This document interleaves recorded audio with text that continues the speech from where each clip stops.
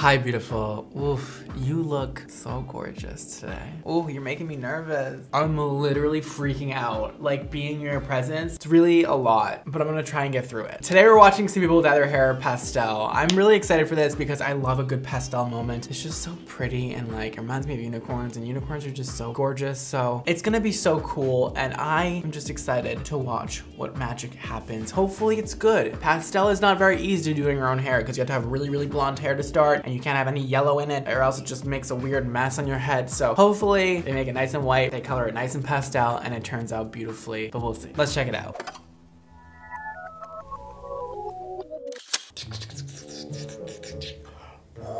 Like a fireball. Yeah, I I know. What, are you part of the Avengers now? I'm morphing into Avenger. Up first, we have a video by Kayli Boyle, and this is called Bleaching My Hair at Home and Dyeing It Lavender. Why did I do this? Nobody knows besides you, Kaylee. We're gonna try and go for light purple. This is my natural hair color. I have the front pieces bleached and then I have the underlayer bleached. It's grown in like a little over an inch. I got plenty of bleach. This is half full, this is a new one. She's about to have a whole different look and go through a whole process to do this because she's starting off with beautiful level six natural hair. This is great though because bleaching that is gonna be pretty sim not simple. It would be simple if she went to a professional, but since she's doing it herself, it might be a little bit difficult, but she should get a very nice even lift and a very pure white color when she's done if she does it right, which she probably won't do it right, so We'll see. Okay, we're gonna get started. First thing I have to do is I have to section out the pieces that are already bleached. Oh, I need to change my shirt first.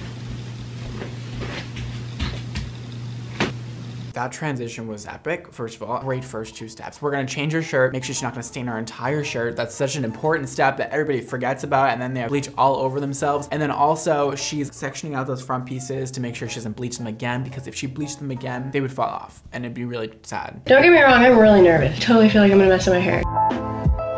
I would hate to see her completely ruin it. However, I'm excited for her change. I know what it feels like when you change your hair. It's like the best feeling ever. That's why I do this for a living. But I'm excited because even if she messes up a little bit, like I think it'll still be good. I I mean, it's gonna take a lot to fry her hair off because it's so healthy to start. It'll be fine, but I've seen people definitely up their hair even if it's healthy before. My roots have grown in a lot, in some places not. And there's like brassy, so I'm gonna have to like touch up at like the end so that it doesn't sit on my hair as long. And then this is the bleach part in the back. She's so smart. Because the heat of the scalp heats up like the bleach and it processes quicker than everything else. Brad Mondo who? It's me. I'm so proud. This is the Wella powder lightener. And then the 30 devolume. Why, why am I saying devolume? Devolume. I'm into that. That'd be my drag name, Devolume. Devolume. Devolume Bleach. Give me devolume. Pump up Devolume. Lower devolume. Your drag name is Loa Devolume. Because they always ask to lower the volume. Emma always thinks the music is so loud. I'm like, lower devolume. Oh, we're taking big sections. I'm happy that she's working from the bottom up, though I will say that. Laying it this way over would be annoying rather than laying it on top of it. You know what I'm saying. She's definitely saturating. I don't know if it's enough, but she's definitely trying, but her sections are a little too big. I'm gonna say, I'm just gonna say it. I'm gonna give you a five out of 10 for sectioning because it's just too big, but at least you're sectioning. Look how much she's using. This makes me so happy. And look how blonde it's getting. Wow, this is gonna look really good. Oh my god, my eyes are burning. My eyes are watering so bad.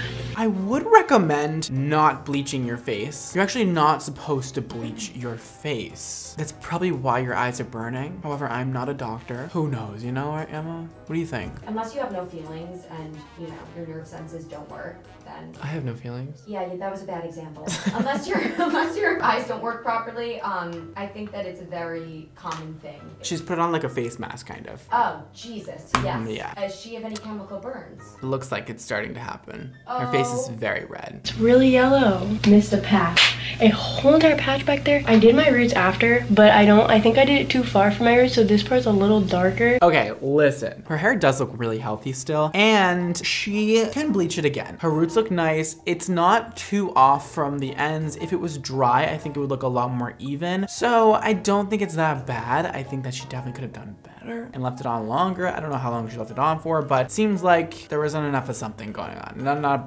or not enough time. And I'm probably gonna go with time. But she did a lot of things right, like covered her head with uh, plastic. That way all the heat stays in and everything processes faster and lifts a lot nicer. I'm not mad. Besides the fact that she missed that whole spot in the back of her head. I'm mad about that. She's doing a lavender thing. So what's probably gonna happen is it's just gonna cancel out that yellow in her hair and probably make it a little more like a silver tone with a dash of purple. We'll have to see. Um, I don't, sometimes it's hard to tell, but I think that's what's gonna happen. So my hair was still kind of yellow after. I went to my boyfriend's house and my boyfriend's sister, she went to like cosmetology school. She helped me out. What you're gonna see in the next few clips is me showing you my hair and then her touching up the spots that I missed because I missed some big patches in the back. And then we did a bleach wash and then we proceeded to put the dye. I don't know if a bleach wash is gonna be enough to get that yellow out of your hair. I probably would have bleached the entire mids and ends over again just to really knock that yellow out and be like, Kapow! What in the hell? I love this makeshift sink moment we got going on here.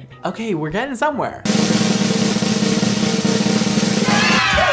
Oh, wow. Obviously, it is not perfect. Going into this, I knew this was not gonna be perfect. I knew there was probably gonna be yellow pieces. I think your hair looks good. Definitely isn't perfect like you said. It's a little yellow in some spots. Obviously, there's a lot of yellow in it. My hair would not take the purple in some spots. There could be many reasons for that, but I think later on when this does wash out, because it is a semi-permanent, I'm gonna go in with a demi-permanent, maybe a little bit darker purple. I think it turned out really good. Listen, I'm not so mad about this. I just want it to be a little bit better. Next time when this fades out, please bleach your mids and ends again, like 20 volume for 25, 30 minutes until it gets nice and pure to almost white with a little bit of yellow in it. Then rinse it out and do the lavender all over again. Just make it a little more even. That would look so good on you. Also, another thing that would help is doing your roots a darker lavender and your ends a lighter lavender. That way it looks more purposeful and it also covers up those kind of imperfections you have going on. But I think it all around looks really dope. And I love the change of color for you. I think it makes you look a lot more like fun and fabulous. And I'm glad you love it. You look amazing. Let's check out the next video. Up next, we have a video by Ellie Addis, and this is called I Dyed My Hair Pastel Rainbow. I have like a proper Wella powder bleach and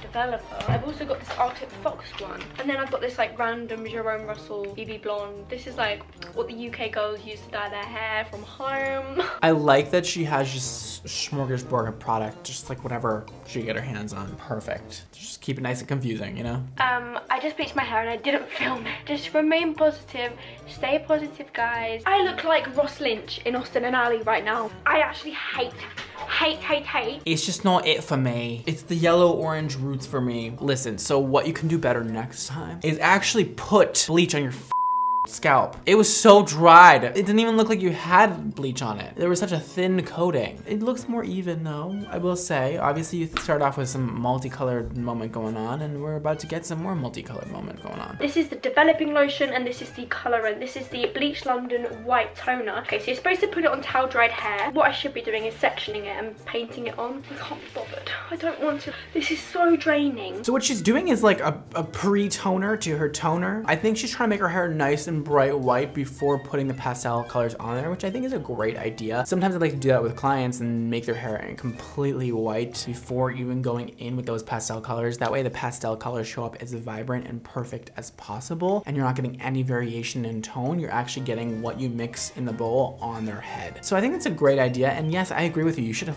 sectioned your hair out before putting this on. The fumes from the oh or the bleach. Something has happened. Like I can't fit my legs. I can't fit my body properly, and it's good enough for what I want to do. Why does her hair actually look really good? I have five hair dyes here. Time for the pastel. It's Arctic Fox Frosé, crazy color peppermint, canary yellow, lavender, bubblegum blue. That's a lot of colors, girl. I've got the purple. Are we sure about this? Okay, so I'm gonna speed up the footage and I'm just gonna dye my hair strips of mint, pink, yellow, blue, and purple. What? Oh, I mean, it looks really cool. This just seems really way too risky for this girl who seems a little bit out of it. It was not good. Oh, no, no, no, no, no, no, no. Didn't take the purple, didn't take. I knew it was gonna look bad. I knew it. I've got the bleach London washing out liquid on my head and I'm gonna leave that for like 10 minutes and then wash it out. This is what happens when you put light colors over yellow hair. They all just start to look muddy and gross. Okay, it didn't turn out as bad as I thought it was going to. I literally put purple hair dye all over my head. So there's like weird muted yellow there because what I was gonna do is I, I didn't even expect to keep it for five minutes, but I actually might because it looks like quite purpley with like pops of blue and yellow and stuff. I like it and I'm gonna leave it. Okay, let me just say something. Let me say it.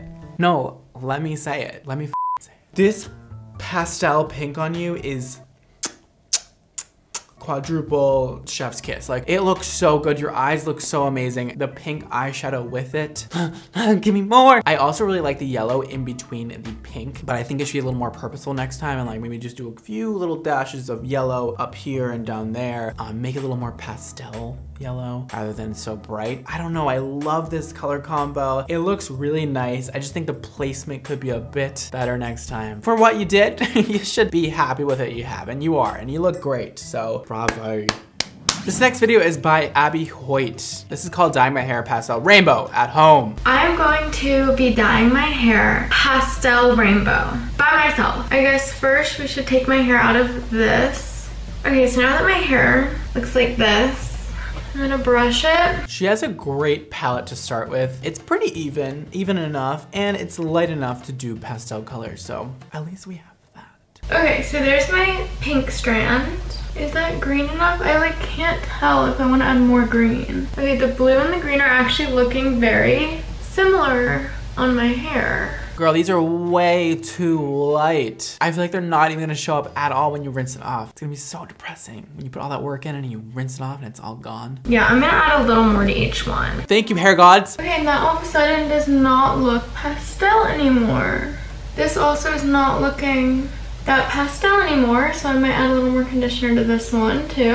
I think that's a good feeling that you should naturally have right now because I'm terrified. Okay, we're halfway done with my hair. We have done two sections and we only have two more to go. I don't know what what's gonna happen here. Might be okay, except the placement seems very haphazard and random, which is never a good sign. So I'm gonna say this is probably, oh, I almost changed my mind. This actually looks kind of good. Is this gonna come out good? This is what it's looking like. I see a lot of green. Not much pink and purple going on. And I wanted mostly pink and purple. And it literally looks like it's the only thing that showed up is green and that's all blended together and it just turned green. So I'm going to blow dry it and style it. It's giving me like coral reef vibes, you know, like bottom of the ocean, like coral reef, some greeny tones, a little bit of pink in there. It'll be lighter when it's dry, so it'll be good. Okay guys, so this is what my hair looks like and literally almost all the pink and purple came out and you can only see like green. So I'm gonna go over in the pink and purple spots with more pink and purple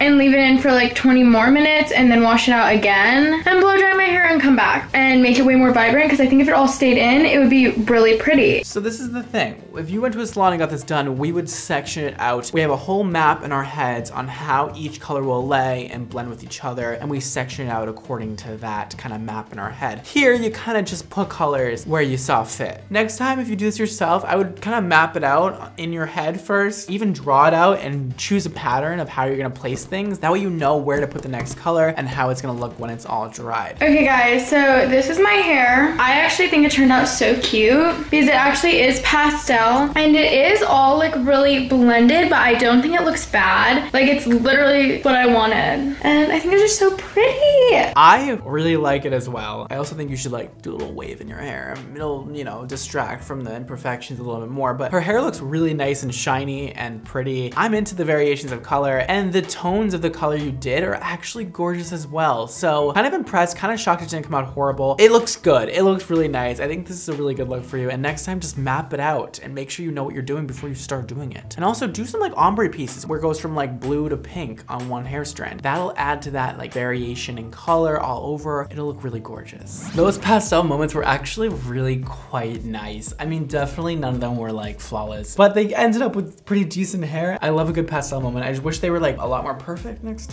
Let's just work on it. Let's work on our technique. Make sure you guys subscribe right down below if you're not already. Click the like button and the bell icon if you're not already doing that. It's really sweet of you to press it, you know? So do it now. Did you do it?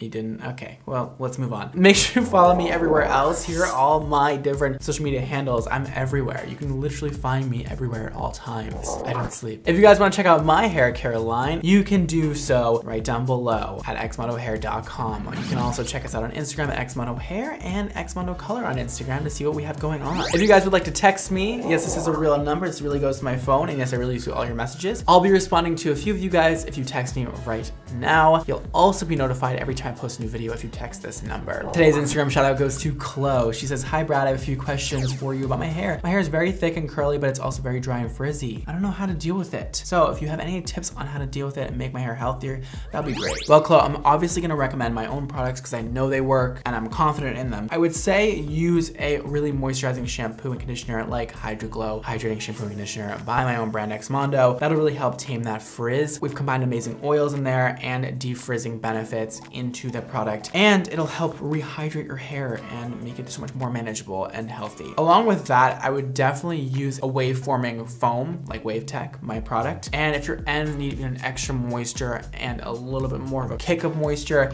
you can totally put some of my Viper oil over the Wave Tech and scrunch it all in. That will give you super hydrated, shiny waves that'll last you so long, like weeks on end, and it'll look so perfect and amazing. So I hope that helps, Chloe, and your hair is beautiful. It just needs a little more product and a little more love. That's all for today, guys. Thank you so much for watching. Don't forget to live your extra life. I'll see you next time. Bye, guys.